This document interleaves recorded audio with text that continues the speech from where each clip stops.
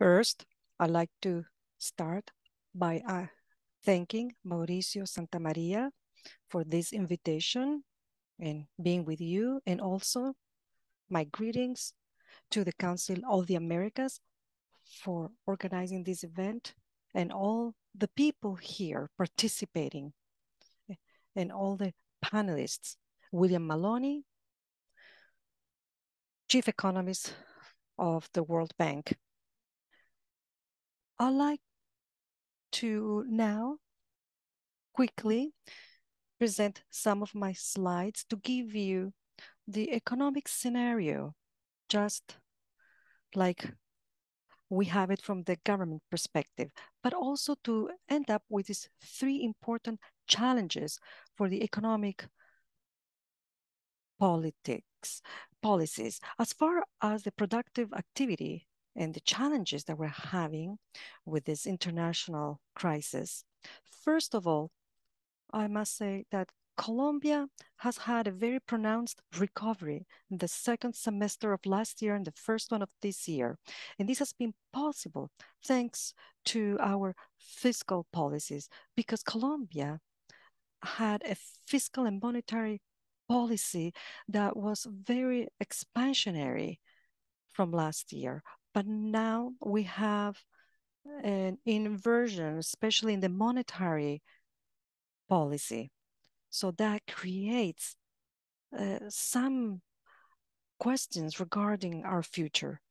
This uh, recovery has been unequal uh, on the different sectors. Here we have some data of 2020 uh, also to the recovery in 2021 of 10.7%. So that was a positive trend in for some Latin American countries that have fared very well, Chile, Panama. In here, we have the two factors in fiscal uh, policies. We see the two yellow columns, the nominal growth of primary expenditure that was very pronounced in 2020, especially during the pandemic, but continued to be the same in 2021. 6.6%, which is in real growth. That's very important. And just this year, we have the beginning of a moderation in public expenditure. Nonetheless, we can see that the fiscal deficit is very pronounced. We see that the uh, Bank of the Republic increased, increasing, increased the rates. But at the beginning of this year, as we know, the increase has been very pronounced and, uh, and then we'll see the real rates. As far as economic recovery, the growth has been positive, very positive, especially at the beginning of the second semester of last year, the beginning of this year. We can see the performance of the economy, but now we have a negative inflection in May. Those are the latest figures that we have. On the right, we can see the figures per semesters, especially the yellow line, which is the growth vis-a-vis the 2019 growth by quarters. We see that the last quarter in the at the beginning of the first two quarters of last year, there was a negative growth because of unemployment. But then we have a very pronounced recovery of 11.3% growth. Of course, we're comparing these with figures of three years ago.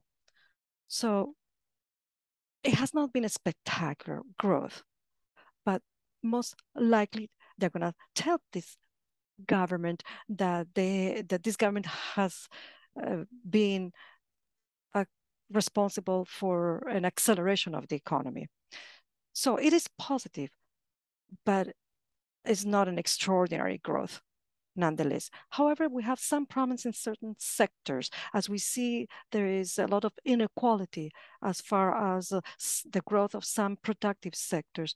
We have arts, uh, uh, recreation, leisure, uh, followed by uh, communications. information and communications. They have uh, had a dynamic development uh, because of the pandemic. And on the negative side, we have other sectors that have not been able to recover, especially uh, mining and construction. In construction, in civil works and housings, we mainly have problems in civil works. There is a, they're, they're falling behind. The first item at risk is inflation, of course. Inflation, it's, it's an international phenomenon, and not just strictly Colombian. It has generated an international uh, phenomenon, the interest rates. The board of the Bank of the Republic has uh, increased them as well, the interest rates. And I would say that the goal was to counteract inflation, but I would say that the most important has been to avoid the flow of capitals uh, outside. However, we see that the effect of uh, because of the effect of inflation, we're going to have uh, uh, limited measures. There's there's some demand as the Bank of the Republic uh, of, of, of, for international prices, of course, uh, for this uh, phenomenon in Colombia that we call indexation. So this has uh, generated some inflationary inertia, but we've seen this also last year. Last year, we were in the midst of this process. It was a complex process. So that it's an important challenge as far as in the inflation policy. As far as inflation goes, we can see that we had 10.2% inflation trend, but in foods was also 25%, so the highest figures in Latin America. And as far as the basic inflation, and thanks also to the Bank of the Republic, is 6.4, especially in the sector fuels. As far as real terms for we can see the 9% rate.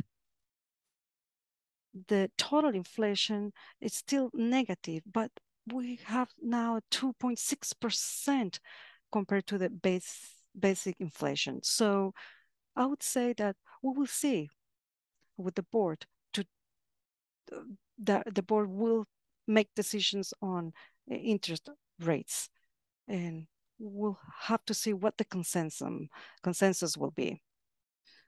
So the, in, the increase in interest rates has had an impact on all uh, economic sectors.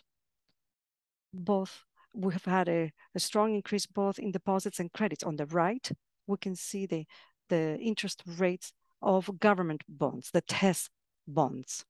Well, we've seen a very considerable increase.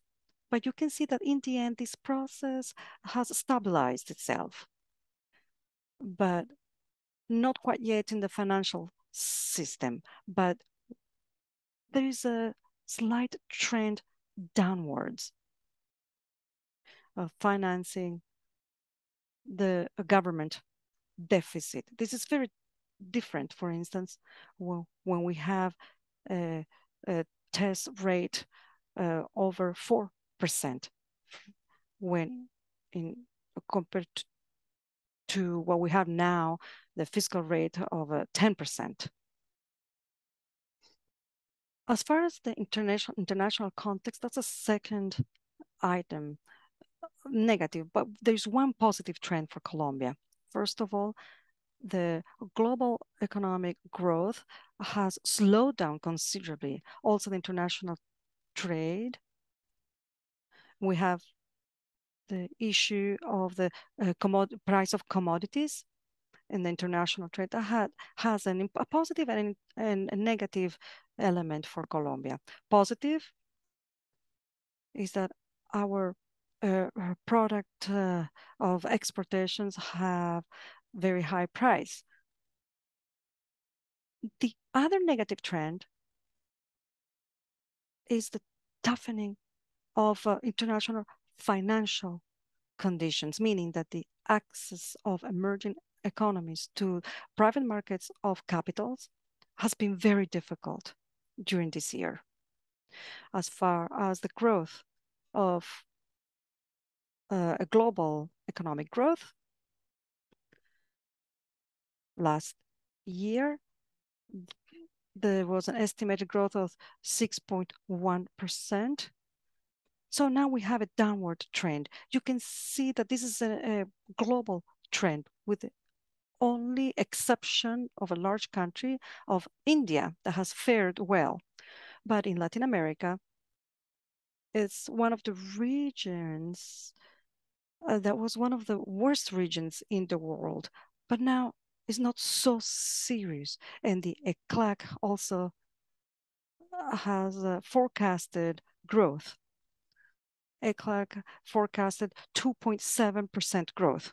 As far as commodities, we have on the left prices of energy and foods, food items with a spectacular growth, especially after the invasion of Russia on Ukraine, although it had already started uh, the end of last year.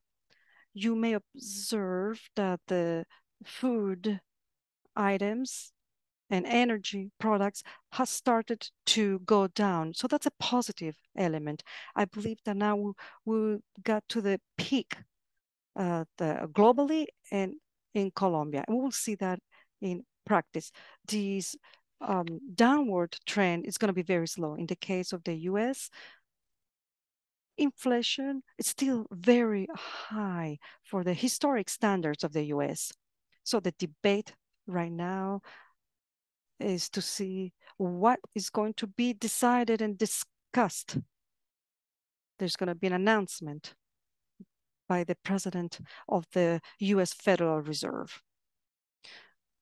The positive trend has been the exchange terms, the red line in Colombia that has had a 25% improvement, much better, as you can see, compared to Mexico and Peru that have had a, a negative performance.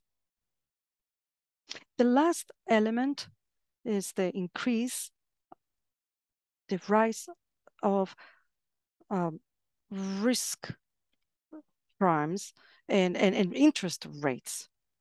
As we can see now, the risk per country on the left of emerging countries compared to Latin America. It's a, a little bit higher in lighter blue, with worse than the average emerging uh, countries. We have in Colombia that has had a very strong decline uh, as a result of losses of investment of last year. And on the right, we have the comparison of Colombia with other Latin American countries. We see that Colombia had some risks more comparable to Mexico last year. But then after loss of investments, we have gotten close to Brazil. So in a category of higher risk. However, you can see that during the last month, we've had a downward trend in uh, risk in Colombia. So we we can see what's we will see if this possibility will turn into a positive trend. Now, the determining factors are the interest rates. We can see that the comparison in Latin America the long-term US interest rates in lighter blue and the risk spreads. So the interest rates in the US are very important as a determining factor of the interest rates of emerging economies in Latin America. But you may observe here that during the last two months, the interest long-term US interest rates has started to go down. Therefore, that has also brought down the Latin American bonds interest rates. This is very interesting because and important because even though you in US there may be some expectations of an increase of interest rates in the short term, the long term ones will go down as this chart shows you. And this creates the possibility for Colombia to go back to the market of emerging economies. But so far, the general trends have been very negative. You can see the flows of capitals of emerging economies uh, by JP Morgan. You see all these red columns. These are the hard currency bonds. You can see the collapse of March of last year in 2020. It was uh, astounding. But after that, in April, or actually mid-April of 2020, they turned positives. We had positive flows for the remainder of 2020 and 2021. But you can see at the end in 2022, we have negative trends once again. The same thing happens with the yellow columns, these local bonds of emerging economies. In 2020 was very negative, but it started being positive in the mid of 2020 in almost every month of 2021 but then it, they become again very negative. So the capital flows of emerging uh, economies uh, as far as uh, cost and availability have been very negative. In this context colombia has fared poorly especially in monthly uh, purchases of TES bonds from abroad. Yesterday, uh, Bloomberg announced the amount of bonds from Canada, companies in uh, Canada and Middle East and some European countries that have increased significantly, uh, uh, have increased the purchase of Colombian brands. And on the right, we have a, a positive trend. One of the positive news from this uh, last uh, uh, week was the visit from the president from Spain. If you take away the natural resources uh, in from Spain, the main provider is Colombia. So uh, 1.5 uh, more in direct investment. So as far as investment, it's going very well. So if you you I'll have the opportunity in New York uh, mid-September to continue generating a positive image of Colombia to show the investment opportunities. So we have a very complex uh, economic situation and trend um, of this slowdown of the economy on the during the second semester, especially uh, in 2023. But we still have very unequal uh, forecasts uh, in terms of semester will go from 10.5 to 2.7 in the second semester. And on the right, we have the current uh, most recent projections from the Bank of Republic and the Ministry of uh, Finance 1.1 it seems to me a little bit pessimistic. And then 2.2 is very similar that was published uh, last month. So I would say there we're between 2 and 3 percent. These are the uh, uh, provisions from 1993 I'll end up with the what the for the government were the challenges for the economic uh, uh, policies. I mean, I could include more, but there are three: the social sex area, where we have the uh, labor market, but also inequality and poverty that have gone up in the past year, especially even before the pandemic. So these are the reason of the social discontent uh, in Colombia. The second uh, that I, I didn't uh, mentioned before because to me is very important is the high commercial deficit that requires a pronounced diversification of exports. To, for me, this is the most important priority for the government. And third, public finances. And th this is what I need to grapple with. And it has to do with the proposed tax reform that has been subject of a large debate. And I'll refer to this at the end of my presentation. So socially, we can see that uh, we were able to have a recovery as far as unemployment. Uh, we had very high figures for unreported uh, jobs during the pandemic. And then as far as poverty, since 2019, even before the pandemic that we had. So that means that today we have 4.6 million more poor people compared to 2018. And we also have inequality that has gone up based on the recent data. This is the labor recent labor history, the collapse during the pandemic, the loss of 6 million jobs, but then the uh, recovery uh, in 2021, uh, the whole economy started a very pronounced recovery the during the mid of last in the middle of last year.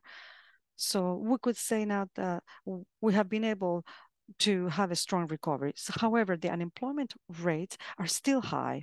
In fact, 11% of unemployment, mm, total unemployment rate is higher than the one that we had pre-pandemic. On the other side, we see on the right much higher unemployment rates. But compared to other Latin American countries, Colombia is among the worst in Latin America as far as unemployment. We're competing against Brazil and Peru, especially with Brazil as far as one of the highest unemployment rates in Latin America. As far as poverty, we see the increase in poverty during the pandemic in 2021 is uh, improving a little bit in 2022, but we have increase of poverty that already started in 2019. As I said, 4.6 million more poor people compared to 2018. And if we compare it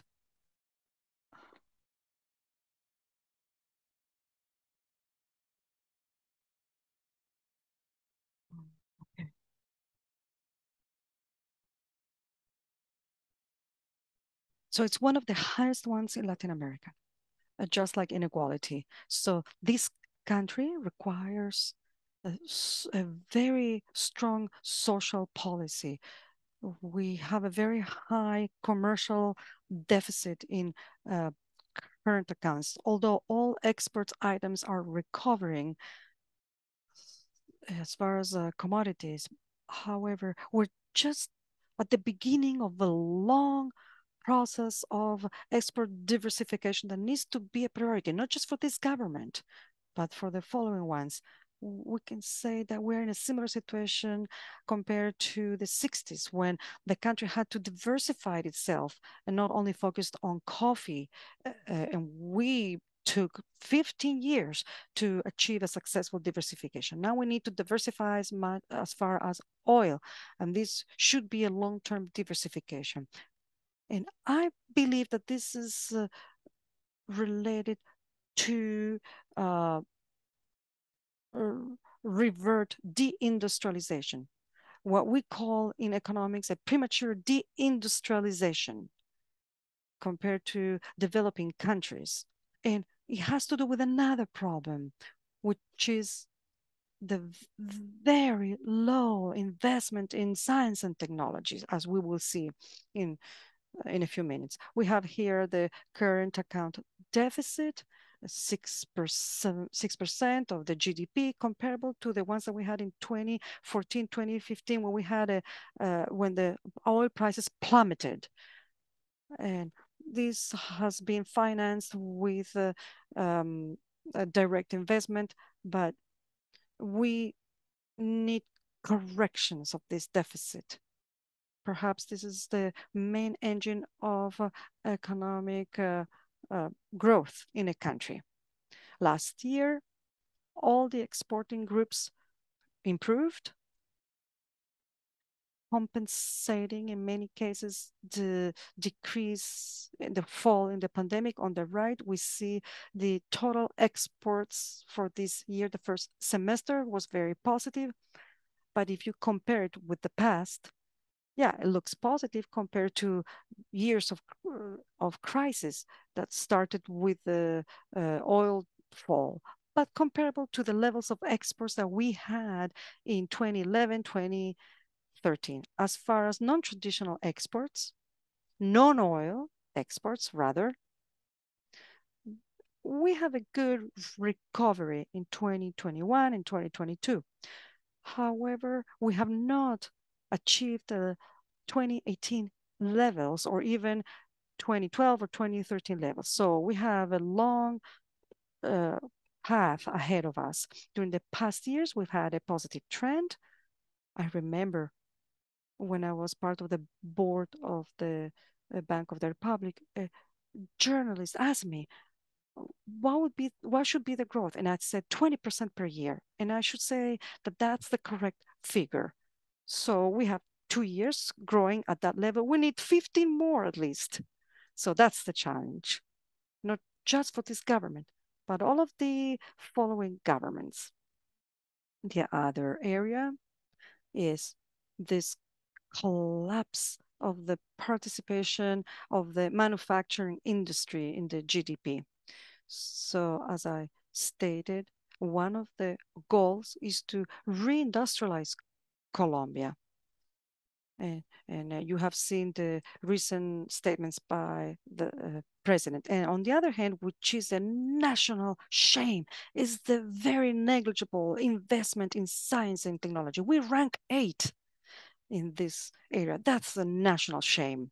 So how can we have much more R&D and to be connected uh, with the productive sector? That's what we need to do as far as exports and reindustrialization. Finally, public finances, where the increase of uh, public expenditure in 2021 generated a deficit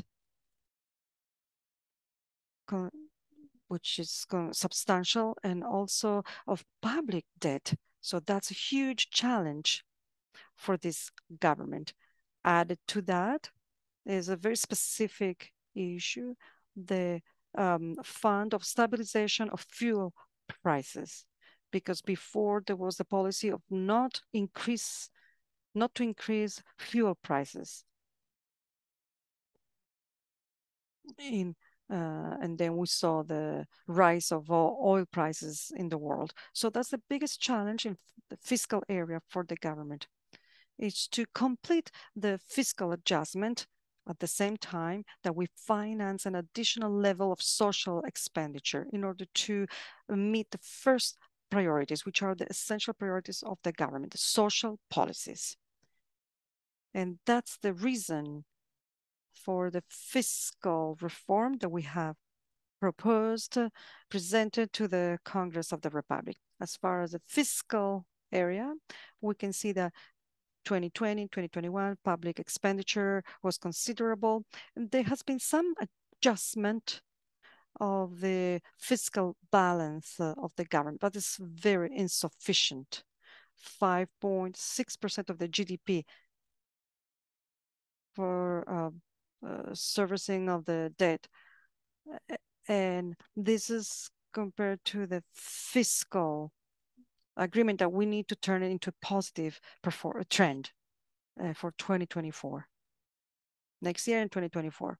So basically, it's an adjustment of 2% uh, of the GDP that we need to accomplish. So it's not an easy task. But then we have this other problem the Fund of Stabilization of Fuel Prices. In any event, this 2.7%, we need to add it to the 5.6% from before, meaning that the challenge that we have ahead of us is of 8% in GDP in terms of fiscal deficit. Not only for the fiscal rules, this 2.7 that we need to pay next year. So that's part of the next year's budget. As far as debt, we get to 65% of the GDP has come down, uh, but it's still over 55% of the GDP, which is the goal uh, as fiscal rules associated with the uh, primary adjustment. Just uh, for historical terms, when I was a minister before, public debt was 15% of the GDP. So meaning a fourth, but uh, this different times. That was the public debt that I left behind me. The problem from the fiscal point of view, uh, we can see this chart and the one before are from the E OECD we have a fiscal structure that's very unusual, where personal income generate very little tax, 18% of the GDP against 51% of the OECD. And we have a lot of social tax, much higher than the OECD and the VAT. We have a fiscal structure completely atypical. So that's why one of the reasons, as you can see in this chart, is that in the areas of higher income, we have two items of income, the ones on top, which are dividends and occasional gains that represent half of income of those very high income households. So you cannot do a fiscal progressive fiscal reform that does not affect, have an impact on occasional gains. I know that this is rather controversial, but in the discussions that we had with the Congress and with many uh, business sectors, we're debating how we can do that. So with Congress and all the different sectors, we'll be discussing this issue. These are the main elements of the reform that we have proposed based on the constitutional principles that we have on equity, progressive, progressiveness, and efficiency. This was just to simplify, to say all income are the same, no matter the source. But that seems that as far as dividends and occasional gains is not so. However, the main elements of the reform are the uh, reduction of uh, tax of uh, low-income people, low-income households. Be so we're trying to focus on high income households in order to have an equitable distribution of wealth. So natural persons, there is a proposal. You know that in this century, we've had taxes on uh, companies or legal entities different from natural individuals. Second, limit business of tax benefits for some sectors, but on the other hand, perhaps uh, it's, it's a matter of how to improve the contributions in order to exports. So in order to fulfill that first goal, which is to diversify our exports. Then we have to improve contributions of the sector of national resources to the financing of the public sector. Basically, because this is a sector where we have, we're trying to just capture uh, the windfall tax, a tax on the exceeding profits of the sector through a tax on exports beyond a certain basic price. And then we have to uh, mitigating uh, environment and health uh, uh areas, uh, also to improve uh, when it comes to carbon, the carbon situation, and in health, we've had some degree of controversy and also dividends and occasional gains have been the two issues where we had a lot of controversies. And there are many measures to fight evasion of uh, tax evasion. Measures, one is precisely trying to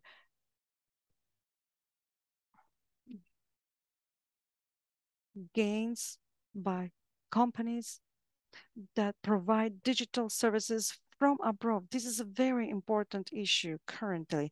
So beyond a certain levels of clients and sales, those people that do not do not have residency to in the country to charge them a rate. For instance, there's another measure to stop to establish that the companies cannot replace their fiscal presence for fiscal reasons and they go to uh, paradise uh, tax uh, shelters. Because that would be tax evasion clearly. And the third is that for executives basically uh, all uh, all natural uh, individuals have to pay taxes I mean, there are some people that are not included. I know that some people get irritated by this. I mean, all of this, uh, it's upsetting, of course. It's uncomfortable. But we've been very open to debate. We have had alternative proposals. Some people may not like some of these measures, and they may tell us uh, what can produce more income. Focus on the positive, not the negative. So we would say that we will be able to achieve 25 thousand millions of pesos. So perhaps we can even generate twice as much. And that's associated by a to a reform with an expansion. But we know that we need to have a, a much more amicable system with people because there have been many complaints based on the inefficiency and the pressure on businesses. That was the first sector that complained.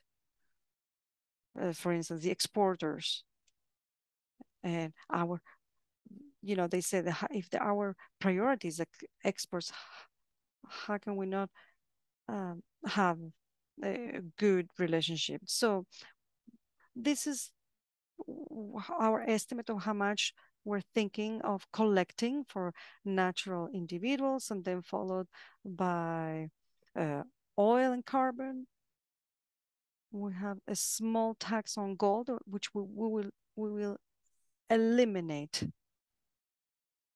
avoiding uh, gold smuggling, which is very easy to smuggle, and then legal entities, and then what I mentioned about free trade areas, and then other taxes. Thank you very much.